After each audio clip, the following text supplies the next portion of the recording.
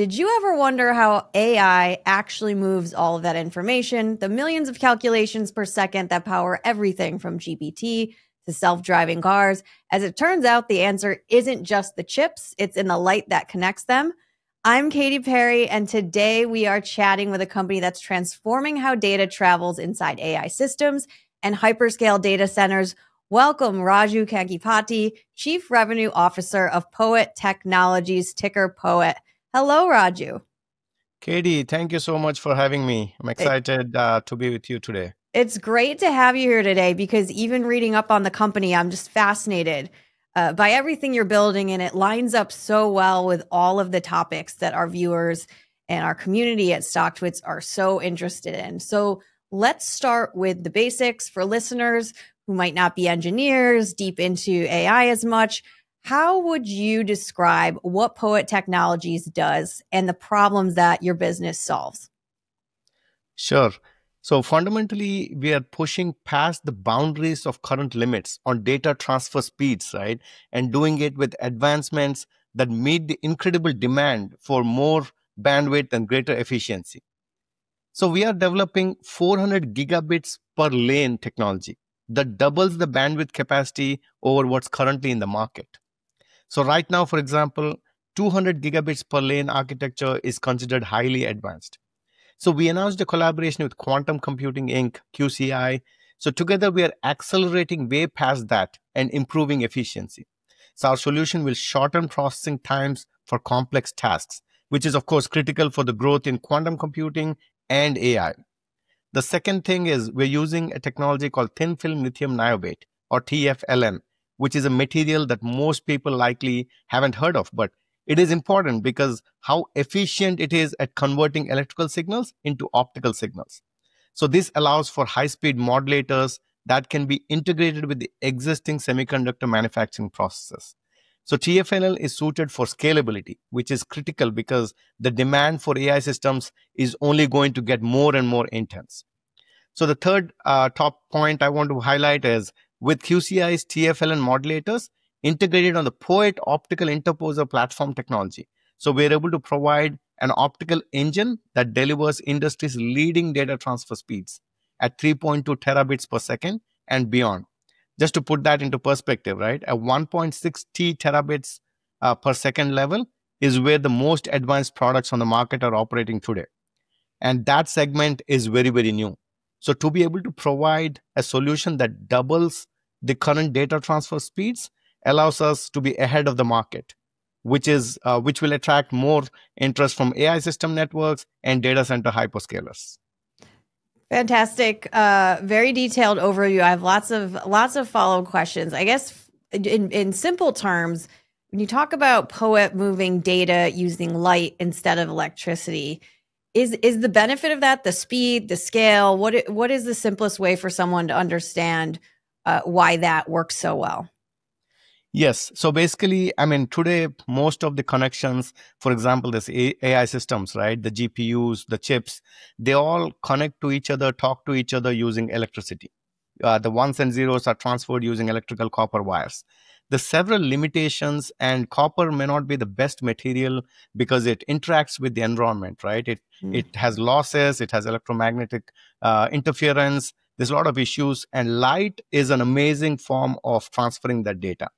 So with Poet, we are actually transforming that uh, way of communication. It has been existing for a while, but we are pushing the limits of speed on how fast the light communication can happen between these chips. So that's where Poet comes into play because our platform can carry both electricity as well as light on the same platform.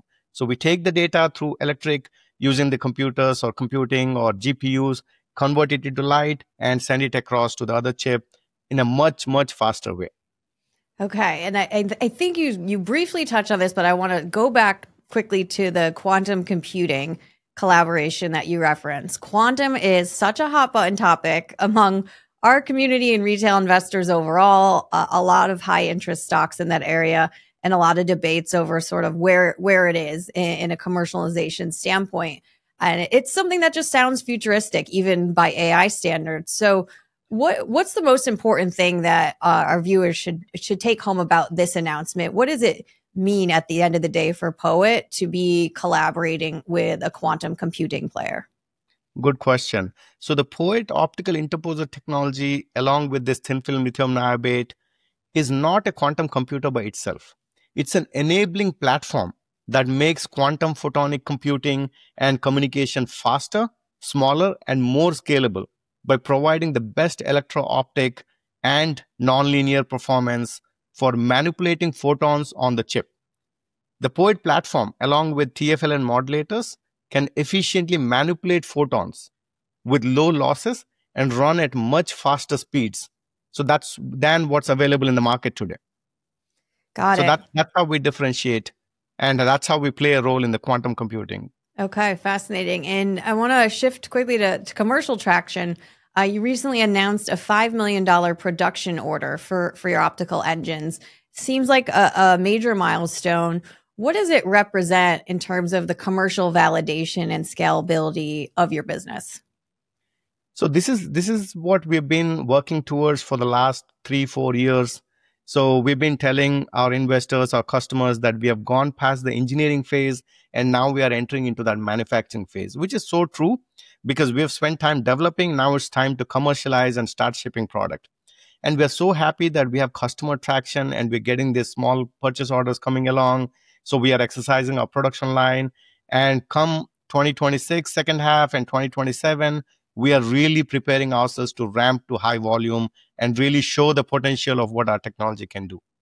And when uh, when we talk about these customers, can you give us a sense of who who the buyers are, either types of companies or role within the company? Who's sort of the the perfect audience that that you would be selling to? Sure. So so we have like three types of customer buckets, if uh, if I may answer that way. Yep. So one is the traditional hyperscale data centers or AI network customers that build these electrical to optical converters, right? So they use our engines to make it easy, cheaper, and faster, right? So that's one uh, customer list. The other customers are this chip to chip communication. You see all the GPUs, the memory. You need optical connections between these two, and you need high power laser source. So they're using the POET engine to supply light into those chips. So mm-hmm. that's one customer base. And then the third customers are really at the edge of a network when they hand off data from a data center to a telecom like AT&T, Verizon. So that's where they use our technology because our technology can be very compact. And that's a differentiator. They want to save space. They want to pack more data into that fiber. So that's the third set of customers that we are targeting. Got it. And the the economic model of the business are they multi-year licensing deals, subscriptions? How should people think about sort of how the money comes in and moves moves into the business? So today we are not in the licensing uh, market. We are more into product sales. And uh, one good thing is uh, we have some stickiness to our products, right? Once a customer designs their product with our engines inside, it's usually there's two ways, right? One way is one thing is customers will like it because it's so easy to use, so easy to manufacture and all that. So that's one form of stickiness. The other form of stickiness is it's difficult for customer to take that away and then use a traditional solution. Why would they do it when the solution works so well and it's so easy to implement? Mm, got it. Okay, I want to talk also about. I was on your website. This uh, 150 million dollar oversubscribed offering. Uh, so for retail investors listening, tell us a little bit about that and how you plan to use that capital uh, the biggest priorities that you're going to put that against? How are you leveraging that as a business? Sure. As I said, I mean, we are at that phase where we are done with technology development. I mean, we're not done, done, but we are moving from technology company to a manufacturing company where we want to ramp product. So 2026, yes, we're forecasting a ramp, but I think 27 and 28 is where really the market is going to take off for this high speed optical communication. And we are preparing ourselves right? And these all require investment like capex investment investment in people. We cannot of course go to millions and millions of revenue with the existing uh, employee base right? So we have to grow the company. We have to add more capex. We have to acquire talent so i think the capital will really help us to plan for that future ramp and that's exactly what we're thinking of Okay, and then one way to think about the company, based on uh, my research, was to to think about it as POET as something that is powering AI. Um, we've kind of touched on this in detailed terms, but in kind of everyday language, how does the technology make AI faster, more efficient? Just to sort of bring this bring this home for our viewers. Sure. So so Poet with the optical interposer platform, right? What we're trying to do is bring several things together onto a small package that can be manufactured at a wafer level. What a wafer level manufacturing means is today if you go to an optical manufacturing line, you will see a lot of manual one at a time assembly process steps. So we are trying to convert that into an 8 inch wafer where, where we can assemble 400, 500 chips in one go. And when I say we, it's a machine. The machine assembles the entire wafer, get 400 chips out at a time. And that is what we mean by scaling our technology. So when AI needs this massive, massive amounts of data transfer, so our technology will enable that because it's much cheaper and much through, higher throughput to manufacture the uh, the demanded uh, uh, the transceivers that they need. All right. Final question for you, Raju. A lot of conversations this week and recently. AI, are we in a bubble? Is it not in a bubble? You're someone been building in this in the ground floor. What, what do you say to someone who says, you know, we're in a bubble here? Uh, what what would your response to that be? I mean, I want to believe it's not a bubble because it's we have seen this movie before, right? For example, if you go back to what computers did to the whole world, right? Uh, back like 30 years or so, when computers were getting into every field, right? There was fear of losing jobs, there was fear of bubble and all that. And now the same thing is happening with AI. So AI is not just specific to a field, right? It'll be everywhere in our life.